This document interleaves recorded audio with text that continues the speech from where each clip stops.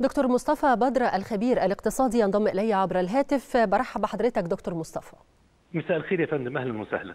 دكتور مصطفى أبرز النقاط التي استوقفتك في حديث السيد الرئيس عبد الفتاح السيسي اليوم في افتتاح الملتقى والمعرض الدولي السنوي للصناعة.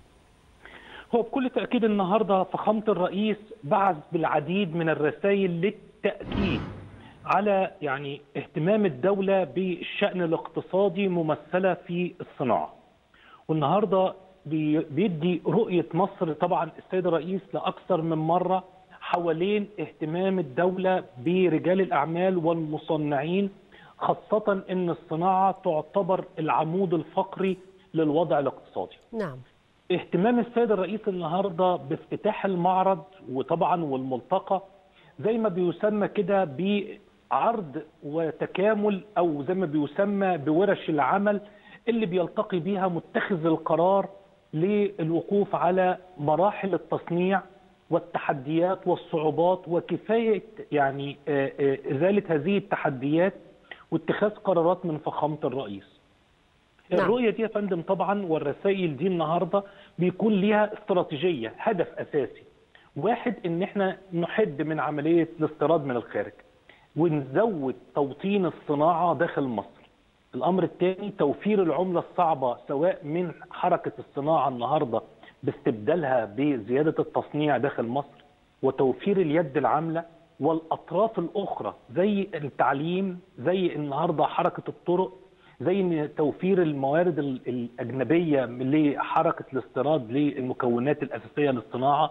أعتقد ده التصور اللي كان النهارده فخامة الرئيس بيضع يده مع رجال الصناعة حوالين الوضع الاقتصادي في مصر اتفضلي نعم. دكتور مصطفى الرخصة الذهبية تقليل الضرائب المفروضة أو الرسوم الضريبية على بعض المستلزمات الحيوية بالنسبة للصناعة وأيضا توفير الطاقة بأسعار مناسبة لتشييد مصانع أو حتى لإعادة هيكلة مرة أخرى لما هو موجود منها كيف ترى هذا الأمر وهذه المحفزات من الدولة المصرية؟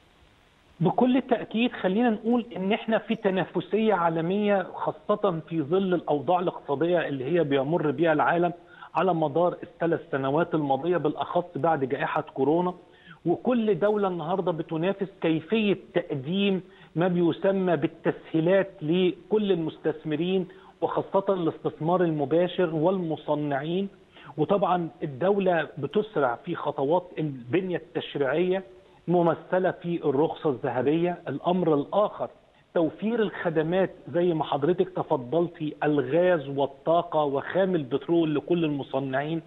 ما ننساش إن النهارده السيد الرئيس بيؤكد للمرة يعني ممكن نقول أكثر من العشرة حوالين كيفية توفير البنية التحتية الأساسية للمستثمر للتفرغ من رجال الأعمال للتكنولوجيا وكيفية توطين الصناعة وازاي ان يكون في حركة تكاملية وإدى مثل مثلا بالحديث على مكونات السيارات هذا الأمر يا فندم طول ما في متابعة من القيادة السياسية والحكومة ده بيدي رضاء من المستثمرين بيدي إزالة للتحديات نظرا لأن الأوضاع الاقتصادية تعلمي حضرتك وكل مشاهدينا متغيرة ومتلاحقة خاصة في ظل الأوضاع الاقتصادية العالمية. نعم. مساهمة القطاع الخاص يا فندم في الاقتصاد أمر في غاية الضرورة ده ما بيؤكد عليه السيد الرئيس دايما بيقول الشركاء للمستثمرين ما بيؤكد إن دايما المساهمة من القطاع الخاص هو ده اللي بييسر للأوضاع الاقتصادية يا فندم.